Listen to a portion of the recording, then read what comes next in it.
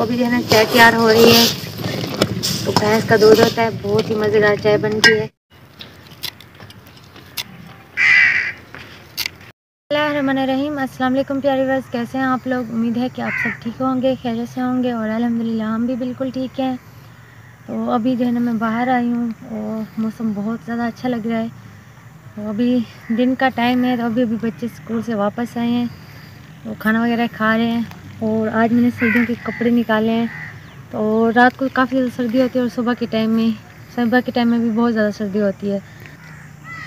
तो कुछ दिन पहले जो है ना, मैंने बच्चों के लिए कुछ कपड़े लिए थे क्योंकि हमारे यहाँ शादी आने वाली है। उनके लिए मैंने कपड़े लिए थे तो आज वो भी सिलाई होकर वापस आ चुकी हैं तो वो भी आप लोगों को इंशाल्लाह दिखाऊँगी। तो अभी जो है ना, बच्चे तो खाना खा रहे हैं क्योंकि अभी अभी वो आए हैं तो मैंने सोचा मैं कुछ घास काट लूँ। जानवरों के लिए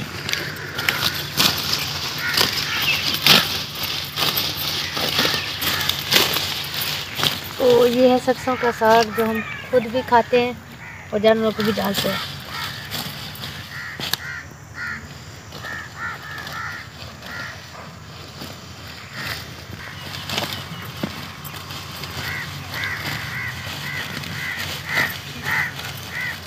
तो माशाल्लाह से अब घास काफ़ी अच्छा हो रहा है। पहले तो कुछ दिन बहुत ज़्यादा तंगी हुई है क्योंकि घास था नहीं और जानवरों के लिए भी जो है ना काफ़ी ज़्यादा तंगी हो रही थी।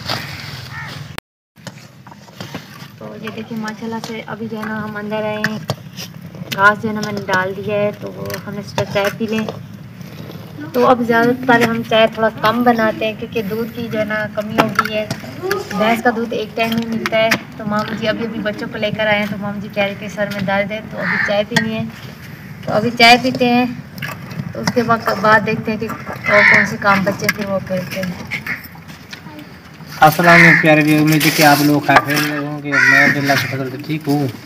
अभी अभी हम आज बच्चों को लेके आए हैं, हम चाय पी रहे हैं। और आप लोगों की से आप आप लोगों की मेहरबानी, आप हमारे चैनल पर, हमारे चैनल को आप सपोर्ट कर रहे हैं। इस तरह सपोर्ट हमारी जायज़ रखनी है आपने। और आज मुजम्मिल जो आपके साथ जा रहा था जिद कर रहा था कि मुझे आपके हाँ, साथ जाना। है जूता बनाया वो में सर्दी आ गई सुबह उसे सर्दी लगी वो कहते कि नहीं मुझे जल्दी से सर्दियों के शूज़ लेके दें। तो जब माम जी बच्चों को लेकर लेने जा रहे थे तो सबसे पहले वो आगे बैठ गए कि नहीं मुझे आज शूज़ लेकर दें। अभी वो शूज़ लेकर आ गए हैं पहने हुए उसमें माशाल्लाह बहुत प्यारे हैं। तो अभी चाय पीते हैं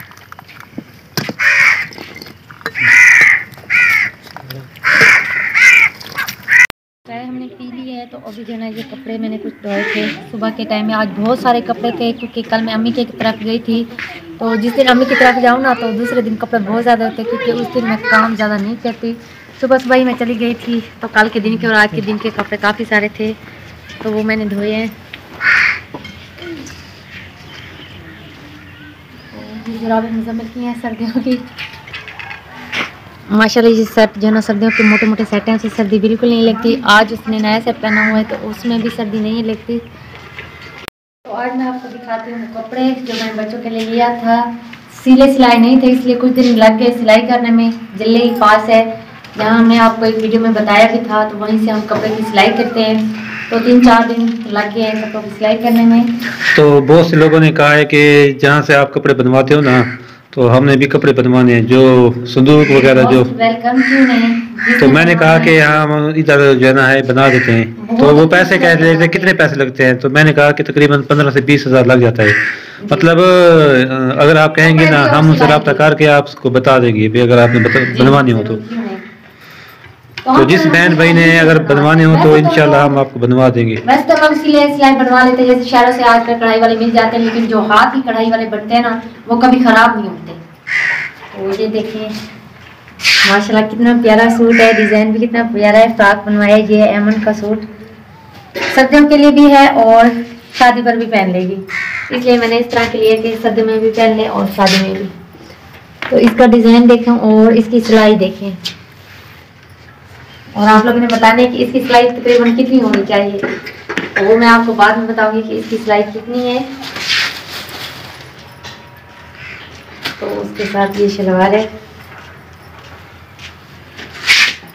तो आजकल सर्दियाँ वैसे भी बहुत ज़्यादा आ रही हैं, इसलिए हमने सोचा कुछ सर्दियों के कपड़े ले लेते हैं। वैसे फ्रॉक वगैरह तो मैंने पहले भी लिए हैं, लेकिन सर्दियों में वो नहीं पहने जाते क्योंकि सर्दी काफ़ी ज़्यादा लगती है। वो उन्होंने घर पहने हुए हैं और ये है समाया का। थोड़ा सा मुख्तलिफ़ है, उसका अम्ब्रेला वाला फ्राक है, इसका बस चोड़ियों वाला है, ये देखें। तो कलर में भी थोड़ा फ़र्क है, वैसे तो जब भी मैं कपड़े लेती हूँ, एक जैसे होते हैं, लेकिन इस बार कलर थोड़े चेंज लिए हैं, लेकिन डिज़ाइन आप लोग देख सकते हैं, इसका और इसका एक जैसा है। और इसकी सिलाई माशाल्लाह बहुत ही अच्छी हुई है, बच्चों को बहुत ज़्यादा खूबसूरत लगेंगे।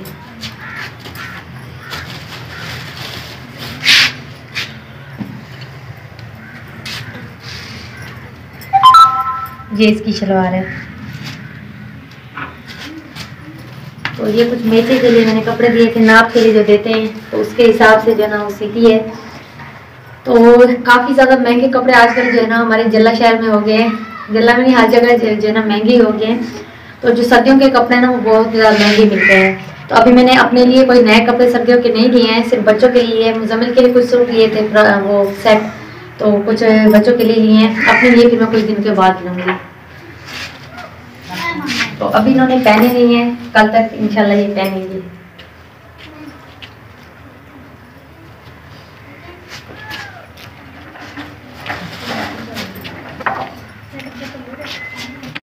तो अभी मैंने सर्दियों के कपड़े पहने हुए हैं, ये इस साल के नहीं पिछले साल के मैंने लिए थे। तो इस बार अभी कुछ ज़्यादा मूड नहीं बना और लिए भी नहीं है। तो सोच रही हूँ, थोड़े दिन वेट कर लेती हूँ, उसके बाद सर्दियों कुछ ज़्यादा आएँगी तो सर्दियों के कपड़े भी जो है ना कुछ ज़्यादा अच्छे आ जाएँगे। क्योंकि अभी आए हुए तो हैं, लेकिन थोड़े मतलब पिछले साल के पड़े हुए इतने ज़्यादा खूबसूरत नहीं है, अब जब नए आएँगे, फिर लूँगी सारे काम एक साथ करने पड़ जाते हैं। कि चाय पिए ना तो चाय पीने के बाद बर्तन तो ख़राब ही हो जाते हैं। गैस वगैरह तो है नहीं, सारे देखें, काले हो जाते हैं।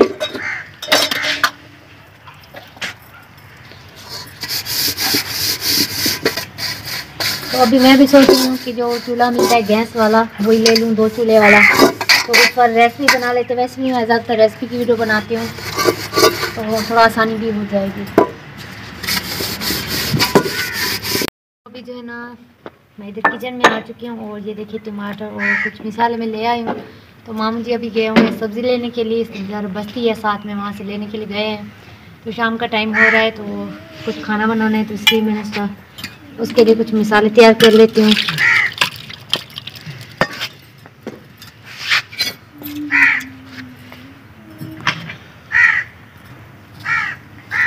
तो आज जो भी काम मैं कर रही हूँ आप लोगों से शेयर कर रही हूँ। तो आज थोड़ा डिफरेंट है, मुख्तलिफ़ मुख्तलिफ़ काम जो है मैं कर रही हूँ। और उम्मीद है आप लोगों को बहुत ज़्यादा अच्छी लगेगी आज की वीडियो, क्योंकि आज की वीडियो बहुत ज़्यादा अच्छी है। तो आप लोगों ने हमारी वीडियो से जुड़े रहना है, और ख़ास बात आप लोगों से आज शेयर करनी है। वो ये मैं मिसालें बना लूँ, फिर आपको बताती हूँ। बात अब मैं आप लोगों को बताती हूँ। जैसे आप लोग जानते हैं कि कुछ महीनों पहले तकरीबन चार पाँच महीने हो गए। हमने आप लोगों को बताया था कि हमने लाइट लगवा ली है तो माशाल्लाह से बहुत ज़्यादा खुशी हुई। क्योंकि इतने अरसे बाद मतलब सर्दियों बाद ही यहाँ पे लाइट आई है। पहले कभी यहाँ लाइट थी भी नहीं। तो खंभे लगे, लाइट आई, बहुत ज़्यादा खुशी हुई। क्योंकि कभी लाइट यहाँ पे थी नहीं, इसलिए बहुत ज़्यादा हम खुश हुए। तो सब काम ठीक चल रहा था तो अब जो है ना, मुश्किल हमारे लिए ये हो गई कि जहाँ से हमने लाइट लगवाई थी, वहाँ से लाइट हमारी कट चुकी है। तो उन्होंने जो है ना, लाइट किस वजह से काटी है? असल में जहाँ से हमने लगवाई, वहाँ से हमारे घर तक काफ़ी सफ़र है तो लोड पड़ता था, जिसकी वजह से बहुत ज़्यादा बिल आया है। तकरीबन नौ हज़ार एक महीने का सिर्फ़ हमारे घर का बिल आया है और उनका साथ मिला के अठारह हज़ार बिल आया है, जिसकी वजह से हमें लाइट, उन्होंने हमारी लाइट काट दी है। तो दूसरा मोबाइल वगैरह चार्ज करते थे, फिर अब हम कहाँ से करेंगे? ये तो बहुत ज़्यादा हमें मुश्किल लग रही है अब। तो अब यही इंतज़ार करें कि हमारा खुद का मीटर है, क्योंकि ये जो मीटर था, वो दूसरों का था, हमारा खुद का नहीं था।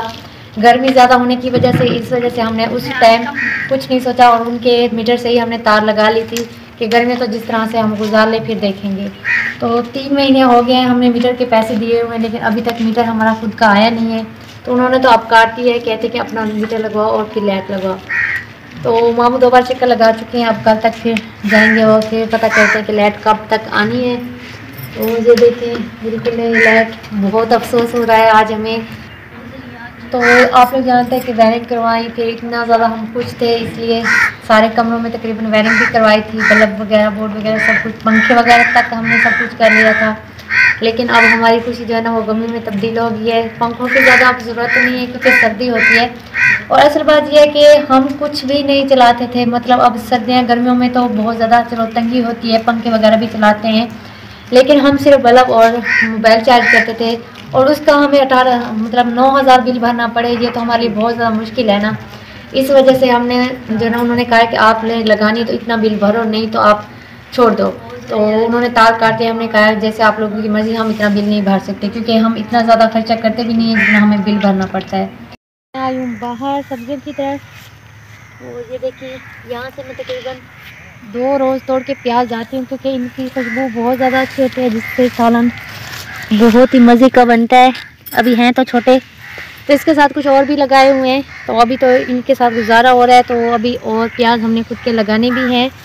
तो कुछ दिनों में लगाते हैं सब्ज़ियाँ, माशाल्लाह हमारी बहुत ज़्यादा अच्छी हो रही हैं।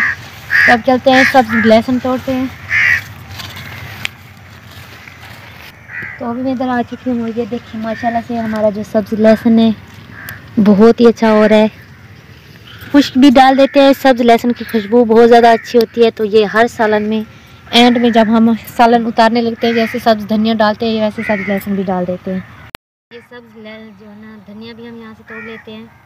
वैसे तो सब्ज़ी में होता है जो हम लेकर आते हैं, लेकिन हमारा घर का जो है ना, वो ज़्यादा अच्छा है। इसलिए मैं यहाँ से तोड़ के ले जाती हूँ। इसके साथ हम चटनी भी बना सकते हैं। चटनी भी माशाल्लाह बहुत अच्छी बनती है।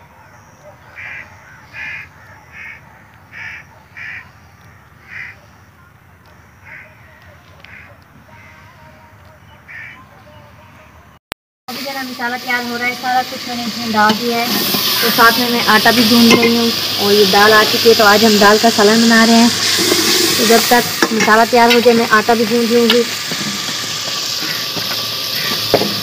तो आप लोगों को हमारी आज की जो टेस्ट लगी आप लोग बताएँ कमेंट सेक्शन में। तो इन आगे भी कोशिश करेंगे कि अच्छी अच्छी वीडियो बनाएँ। तो आप लोगों ने हमारे चैनल को भी सब्सक्राइब करना है और हमारी वीडियो को लाइक करना है। तो इन मिलेंगे किसी नेक्स्ट वीडियो में इजाज़त अल्लाह हाफिज़।